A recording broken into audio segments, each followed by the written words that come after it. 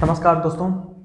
आज के इस वीडियो में नए ड्राइविंग लाइसेंस बनवाने वालों के लिए काफ़ी अच्छी खबर लेके आया हूँ। या फिर आपने अगर ड्राइविंग लाइसेंस आवेदन कर रखा है और आपका ड्राइविंग लाइसेंस अभी तक आपके पास नहीं पहुँचा है तो ये खबर आपको आज ज़रूर जानना चाहिए, क्योंकि इस इस जानकारी में आपको ऐसी जानकारी दूँगा कि इसको आप सुनेंगे तो आपको भी काफ़ी ज़्यादा अच्छा महसूस ज़रूर होगा। तो आइए आज के यहाँ पर जानकारी पर फोकस डालते हैं और क्या आपके लिए गुड न्यूज़ निकल के आए वो भी आपको बताते हैं।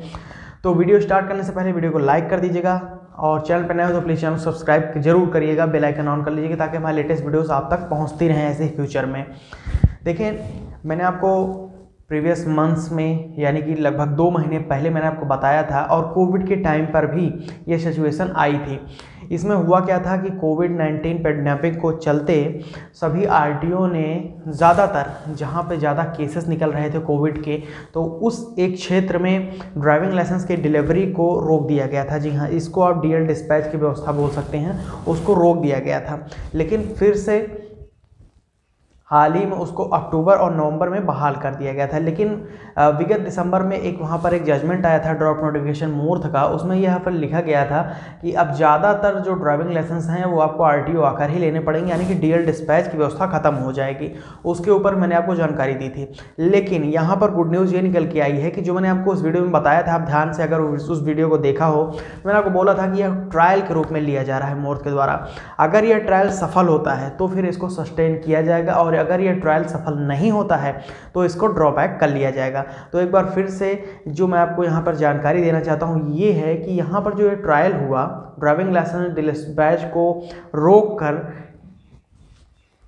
कुछ एक आर में वो सफल नहीं हुआ है। तो इसलिए इस नियम को एक बार फिर से मोर यानी कि ministry of road transport and highways ने इस नियम को ड्रॉबैक कर लिया है। और उन्होंने फिर से एक वहाँ पर नोटिफिकेशन जारी किया है कि जो प्रयोग किया गया, वो सफलतापूर्वक नहीं हुआ क्योंकि इसमें और भी ज़्यादा दिक्कत और परेशानियाँ हुई और बहुत ही ज़्यादा अव्यवस्था हो चुकी है, क्योंकि आरटीओ में बहुत सारे लोग अपने ड्राइविंग लाइसेंस को खोजते हुए आ रहे हैं।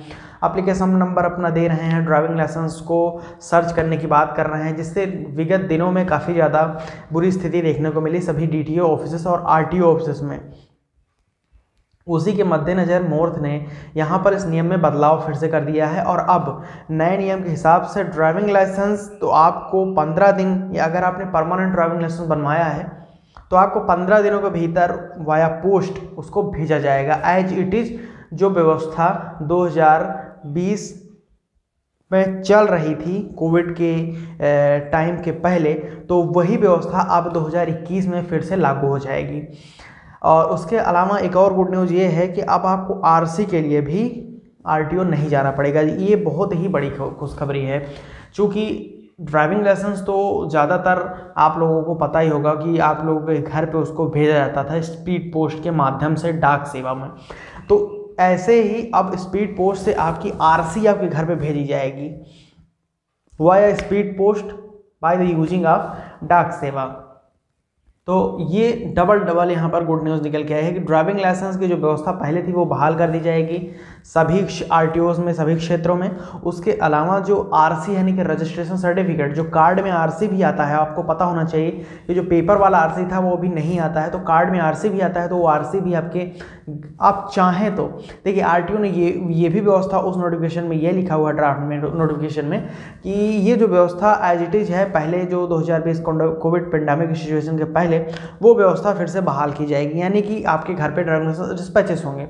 लेकिन अगर आपको कुछ एक दिक्कतों का सामना करना पड़ता है, जैसे आपकी डिलीवरी में पिन कोड आपने गलत डाल दिया, कुछ भी आपने ऐसा, कुछ वहाँ पर मिसमैच वगैरह हो गया एड्रेस में तो वो फिर से उसी आरटीओ आपके कंसर्न आर ऑफ़िस में ड्राइविंग लाइसेंस भेज दिया जाता है। यानी कि अगर आपका कोई एक ड्राइविंग लाइसेंस क्षेत्र है तो उसी क्षेत्र के आरटीओ में आपके ड्राइविंग लाइसेंस को वहीं पर भेज दिया जाएगा और आप वहीं पर जाकर उसको कलेक्ट कर सकते हैं।